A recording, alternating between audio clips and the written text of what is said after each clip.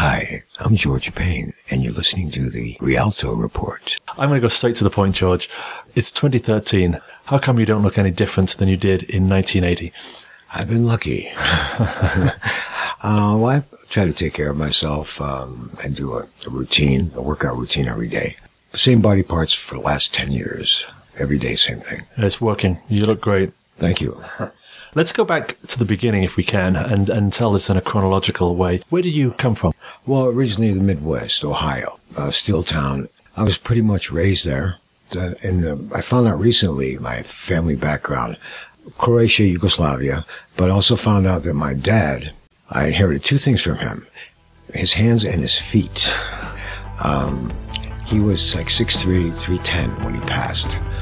He was from Tunisia, North Africa, via possibly Iraq or Iran.